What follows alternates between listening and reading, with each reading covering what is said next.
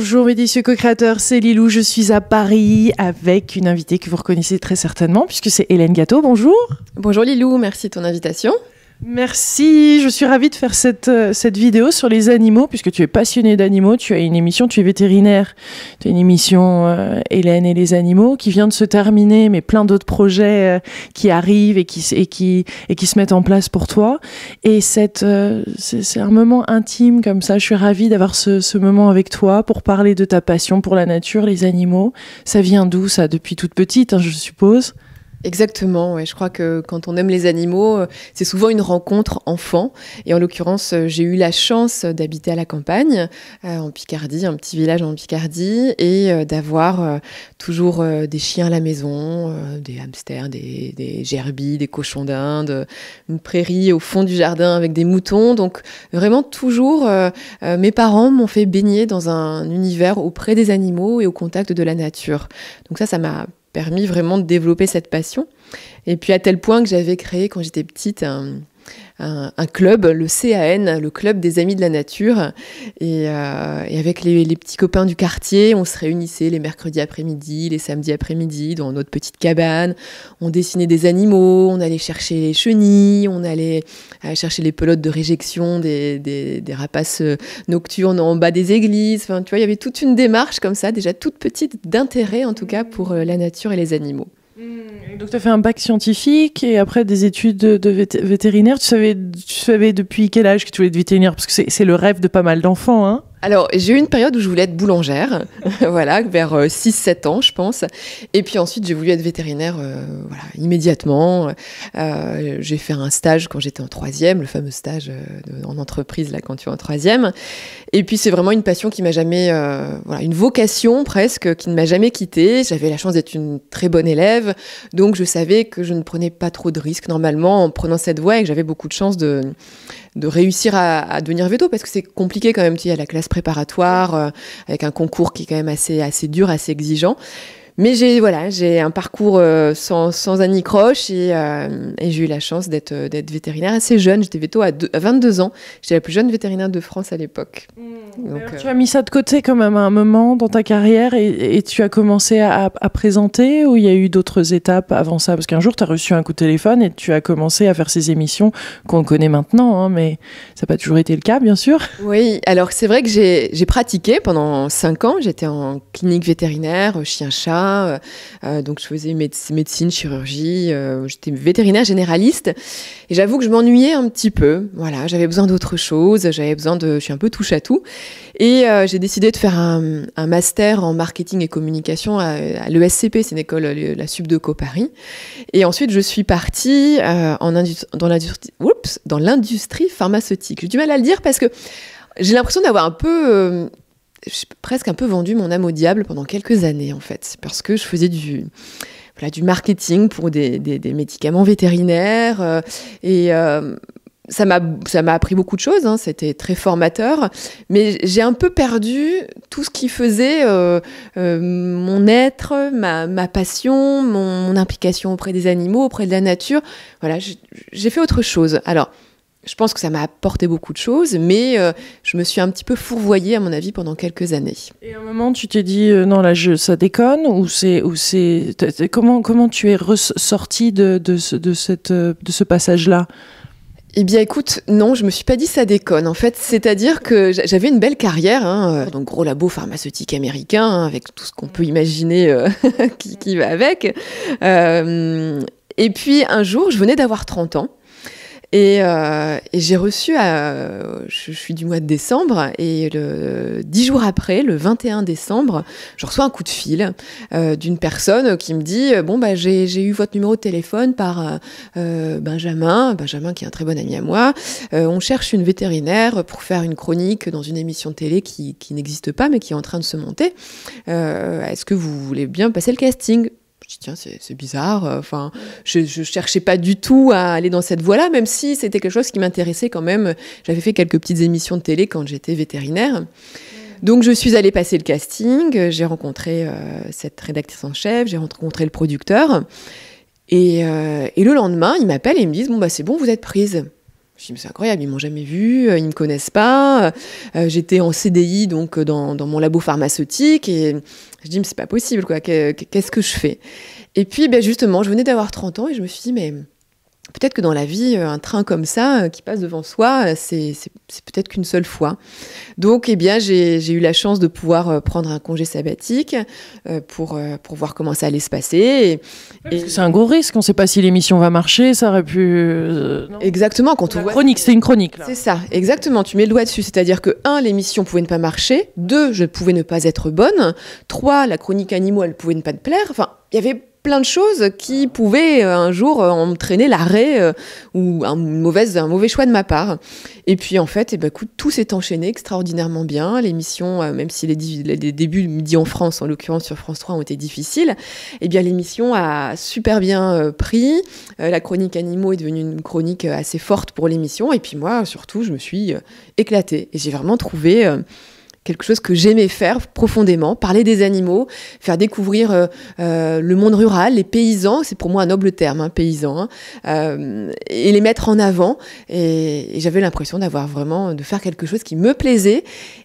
Et puis je me sentais un peu utile, j'avais l'impression de faire quelque chose de bien. C'est inspirant, ça, ouais. C'est comme si l'expérience est venue te, trouver.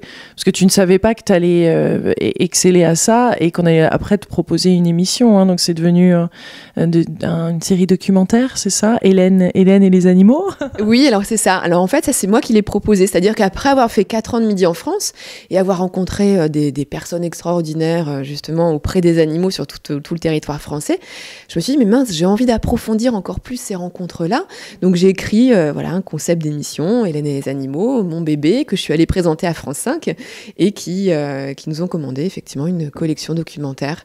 Et j'ai eu la chance de faire 45 numéros. Euh, où j'ai fait des rencontres euh, voilà, inoubliables qui m'ont énormément enrichi, qui m'ont conforté dans, dans, ce que je faisais aussi, et surtout qui m'ont conforté dans le fait que les animaux sont je pense, extrêmement important pour l'être humain et encore plus aujourd'hui dans notre société qui a peut-être tendance justement à se, à se couper un peu de ce lien avec la nature, avec les animaux et c'est pourtant tellement indispensable. Qu'est-ce que, qu'est-ce que pour toi, les, comment tu vois les animaux? Au-delà, de, au-delà d'être un animal de compagnie c'est, Pourquoi ils sont là? Pour moi, c'est des alliés. Euh, quels qu'ils soient, que ce soit les animaux sauvages, les animaux de compagnie, les animaux même de, d'élevage. Pour moi, c'est des alliés pour l'être humain. Et comme ce sont des alliés, euh, on a une sorte de, sorte de dette en fait envers eux. Euh, on doit bien se comporter avec eux parce que parce que eux se comportent bien avec nous, parce qu'ils nous apportent que ce soit des animaux de compagnie, ils nous apportent du, voilà, du du plaisir, de la douceur. Euh, les animaux d'élevage, ils nous nourrissent. Les animaux sauvages entretiennent euh, le, voilà, les, les, espaces euh, de la nature, participent à la biodiversité. que dire par exemple aussi du rôle des abeilles Donc pour moi, tous les animaux sont des alliés. Parfois on l'oublie, on en fait des esclaves, on en fait des objets, alors qu'on ne doit que bien se comporter en fait avec eux et on l'oublie malheureusement. Tu as eu la chance, je devrais peut-être pas dire chance, mais de voir des abattoirs d'animaux. Alors, euh, j'ai eu l'occasion, quand j'étais euh, étudiante vétérinaire, euh, d'aller visiter un abattoir. Ça faisait partie de notre formation, parce qu'il y a une partie des vétérinaires qui partent ensuite dans la direction des services vétérinaires hein, pour le contrôle sanitaire des abattoirs. Donc oui, j'en ai vu. J'en garde un souvenir assez assez lointain, quelque chose d'assez flou. Peut-être que j'ai j'ai pas voulu euh, je sais pas, j'ai pas voulu voir ce qui se passait vraiment. J'étais pas du tout euh, végétarienne à l'époque. Je suis en train de le devenir depuis quelques mois. Euh, voilà, je, je, pense que j'étais pas assez mûre, en fait, pour intégrer ce qui se passait dans un abattoir ce qui, ce qui est, ce qu'on, ce qu'on ressent quand on aime les animaux comme ça, c'est, on, voit toutes les belles choses et puis on se rend compte aussi à quel point certains sont maltraités euh, et aussi ensuite ce qu'on, ce qu'on va avoir dans notre assiette et ce qu'on, ce qu'on valide aussi quelque part. Qui il y a une incohérence quand même dans cette société. Je pense que tu en as vu quand même pas mal à travers tous ces reportages. Il y a aussi des choses qui sont, qui sont dures. Alors justement, il y a, y a, beaucoup de, de... Aujourd'hui, on dit souvent que le fait qu'on se comporte, par exemple, avec les animaux de compagnie, en les en les surprotégeant, peut-être même parfois en en, faisant des, en faisant un parallèle avec l'être humain qui n'est pas à faire, parce qu'un animal reste un animal. On dit que c'est peut-être une façon de se déculpabiliser justement par rapport au mal qu'on fait aux autres animaux d'élevage, euh, les animaux euh, élevés en batterie euh, dans des conditions atroces. Et c'est vrai qu'il y a une certaine ambivalence de l'être humain qui, qui, va, comme je te dis, voilà, en faire des, animaux rois et puis d'autres qui sont des, objets. On est vraiment même, j'ai l'impression qu'on retourne à l'époque de Descartes en fait, de l'animal machine. Et c'est dramatique. Donc euh, oui, il y, a une ambivalence. Après, je pense que oui, le consommateur a une grosse part de responsabilité là-dedans. Je cherche pas à ce que tout le monde devienne végétarien. J'ai pas un discours extrémiste. Il faut plus manger de viande, il faut plus mettre de cuir ou quoi que ce soit. Je pense juste qu'il faut essayer de se raisonner euh, et puis euh, voilà choisir choisir une filière, des filières de production, de consommation qui soient le plus éthique possible. Et j'ai souvent tendance à dire que si tu prends 100 personnes devant toi et que tu dis à ces personnes non pas de devenir toutes végétariens, mais euh, végétariennes ces personnes, mais plutôt de dire voilà, diminuez par deux votre consommation de viande, eh bien c'est comme si sur ces 100 personnes-là, 50 devenaient finalement végétariennes. Donc voilà, on a toutes, euh, tous un effort à faire en tout cas.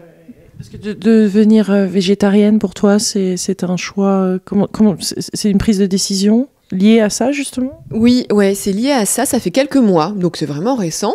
Euh, je suis pas non plus une végétarienne stricte, c'est-à-dire qu'il m'est arrivé, euh, voilà, de, dans cinq, ça fait cinq mois, j'ai dû reconsommer de la viande euh, quatre fois en cinq mois, donc c'est pas beaucoup.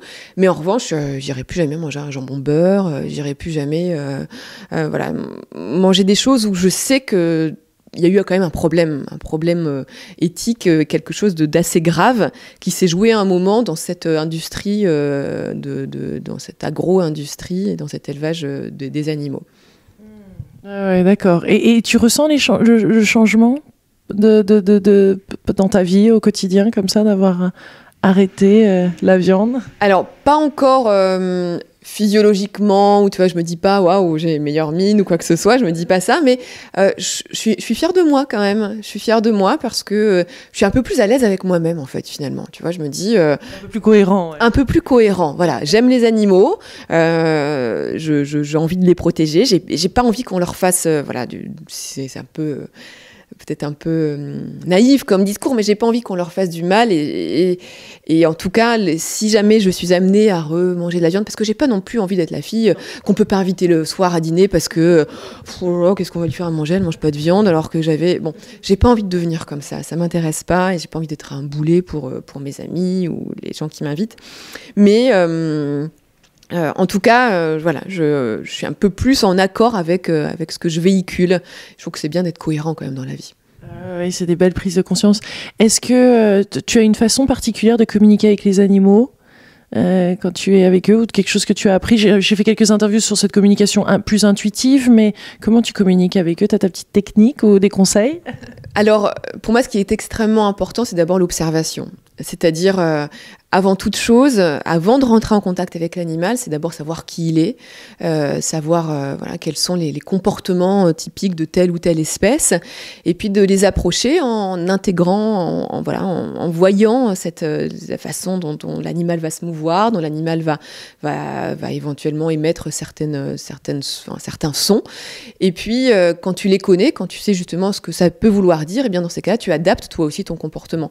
Mais en tout cas, j'ai une approche qui n'est jamais invasive, toujours dans voilà dans le respect et, je sais me mettre en retrait aussi quand je sens que je deviens oppressante pour l'animal. On le voit tout de suite. Hein. je veux dire, à un moment, euh, quand même un chien, quand tu veux le caresser, puis que le chien il fait ça, non, tu le caresses pas quoi. Enfin, c'est juste qu'il a pas envie d'être caressé. Un chat quand il vient sur toi, se mettre sur toi, c'est pas forcément qu'il veut des caresses. Il a juste envie d'être sur toi. Donc voilà, il y a des choses toutes simples comme ça. Euh, il ne s'agit pas de, de, faire un, euh, de calquer euh, des intuitions humaines sur des intuitions animales et des comportements humains sur des comportements animaux. Donc ça, c'est pour moi extrêmement important. La ronron-thérapie, ça te parle? J'avais fait il y a quelques années un reportage là-dessus. Alors oui, et c'est de. Alors je crois qu'il n'y a pas encore de vraies études scientifiques qui prouvent les bénéfices de la ronron-thérapie, mais il y a quand même des médecins qui disent qu'effectivement ça permet de faire de diminuer euh, la fréquence cardiaque et la tension euh, euh, des personnes qui, sont en contact avec les chats, que ça permettrait de sécréter des endorphines, hein, les hormones du, plaisir, etc. Donc oui, moi je suis convaincue en tout cas que la proximité euh, avec des animaux, elle n'est peut-être que bénéfique à notre quotidien, à notre bien-être. Certaines personnes disent que les animaux sont là pour nous, euh, nous, nous apprendre l'amour inconditionnel. Ça te parle? Alors oui, ça me parle parce que c'est vrai que les animaux ne jugent pas. Et euh, j'ai beaucoup, euh, j'ai fait pas mal de reportages autour de la médiation animale. Tu sais, ce sont les animaux que, que l'on met en contact avec des personnes en difficulté, que ce soit euh, des, prisonniers, hein, des gens enfermés, que ce soit des personnes malades, dépressives, handicapées. Et, et ces gens-là retrouvent auprès des animaux un certain une certaine estime d'eux-mêmes, une certaine confiance, parce que parce qu'effectivement, il y a ce lien-là, c'est-à-dire que l'animal, d'un seul coup, euh, il, ne va pas te juger, il va pas émettre, euh, il va plus il va pas voir lui ton handicap, ou alors au contraire, ça va l'intriguer. Tiens, cette personne-là, elle a une façon un peu bizarre de se mouvoir, ça m'intrigue. Donc ça va susciter chez l'animal quelque chose, un intérêt même aussi parfois justement le handicap. Donc euh, moi, ça, c'est la médiation animale, c'est vraiment mon, mon dada, hein, j'ai envie de dire, euh, euh, parce que je suis persuadée de tous les bénéfices que peuvent apporter les animaux euh, pour les personnes en difficulté. Hmm. Quels sont les autres bénéfices alors?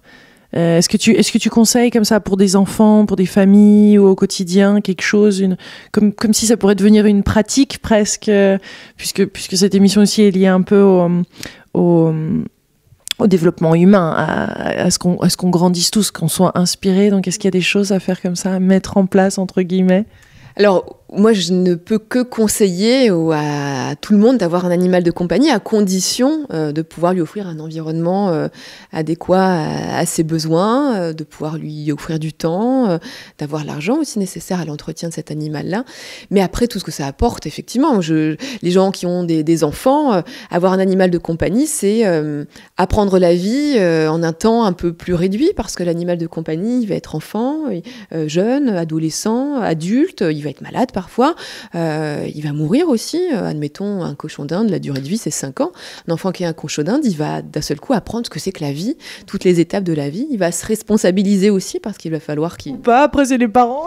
Ou pas, mais un minimum quand même, je pense, même s'il fait pas tout. Faut pas non plus dire à l'enfant, euh, je te prends un animal, mais il y a que toi qui t'en occupe. Non, ça marche pas, ça. Je veux dire, les enfants ont besoin d'être accompagnés, donc... mais... Euh, pour, moi, oui, c'est essentiel, en tout cas, de, faire grandir ses enfants auprès des animaux. Et puis après, l'animal au sein d'un foyer, c'est aussi un lien entre les parents, les enfants, les frères et sœurs. Donc, euh, voilà, ça, crée, du lien aussi. Euh, des, des, petites choses qui sont dans ton actualité, juste pour fermer cette interview. Tu écris un livre, je crois? Exactement, voilà, je me suis mise à, l'écriture. Euh, ça demande une certaine rigueur hein, quand même. Hein. Euh, c'est autre chose que, euh, que des rencontres parce qu'on est chez soi, on est face à soi, face à une, je ne vais pas dire une page blanche hein, parce que non, c'est plutôt un écran d'ordinateur et puis un clavier. Mais j'ai écrit un livre sur, sur mes rencontres qui devrait voir le jour normalement fin 2016. Et, les rencontres qui te touchent le plus, c'est lesquelles? Euh, écoute, j'ai vécu des. J'ai eu une très belle rencontre avec deux, deux, apicultrices que je suis allée voir en Ariège. Euh, et, et, tu vois, je me suis dit, bon, bah voilà, les abeilles, euh, quel, quel lien finalement, parce que moi je suis beaucoup dans le lien entre l'homme et l'animal. Quel lien peut-on nouer avec des abeilles? Et en fait, je me suis rendu compte auprès de ces deux femmes-là que c'est extraordinaire finalement ce qu'on vit avec des abeilles. Tu as tes cinq sens qui sont en éveil euh, quand, tu, quand tu es avec des abeilles. Hein, le, elles font du bruit, euh, l'odeur du miel, le toucher aussi quand elles. J'ai vu les tenir, hein, c'est courageux. Euh, oui, bah tu vois, la, vue, enfin tout, tout est mis en éveil. Et puis, et puis surtout, bah, les, les abeilles, on sait ce que l'importance que ça a pour, pour notre planète, pour notre écosystème. Donc ça, c'était une rencontre fabuleuse. Euh, après, j'en ai beaucoup j'ai eu la chance de partager le, quotidien de l'association Andy Chien qui remettait des chiens des personnes handicapées ça a été un des moments les plus forts, les plus émouvants que j'ai pu vivre. Euh, mais après, voilà, même euh, j'ai fait une transhumance euh, euh, de, moutons euh, dans les Pyrénées. C'était un moment 50 km de marche avec des bergers, des jeunes bergers fiers de leur tradition. C'était formidable aussi. J'en oublie forcément, j'en ai fait 45 et j'ai envie de te dire que les 45 étaient, mmh. étaient des rencontres merveilleuses. Souvent, les dernières rencontres, on me pose la question quelle est la plus belle interview? Souvent, c'est les dernières interviews parce que c'est ça qui nous marque et il y a quelque chose de beau dans chaque, chacun de ces moments. C'est un privilège de faire ce que tu fais, ouais. Dans la gratitude. Ah oui, non, mais je, je, je suis consciente que j'ai énormément de chance d'avoir rencontré euh, ces, ces, ces, 45 personnages et, et avec les animaux et la relation qu'ils ont avec, euh, oui, c'était. Je me, je me sens grandie en tout cas de cette expérience Hélène et les animaux et, euh, et forte de, de, beaucoup d'autres envies et de beaucoup d'autres ambitions parce que j'ai envie de continuer à partager ces moments-là avec les téléspectateurs euh, qui me qui m'ont beaucoup manifesté en tout cas de, d'empathie de, et même d'amour. Voilà. Oui, tu en as reçu, ça, je veux bien croire, que ça touche, ça nous touche, ça touche des cordes très sensibles. Merci beaucoup pour cette interview, Hélène. Je te souhaite plein plein de belles choses pour, euh, pour ce, qui, ce, qui vient, ce qui va venir à toi. Merci. Merci Lilou, merci beaucoup. gros gros bisous à vous tous, je vous embrasse très très fort. Je vous retrouve sur la télé de Lilou avec plein de nouveaux sujets et des belles personnes qui rayonnent. Au revoir.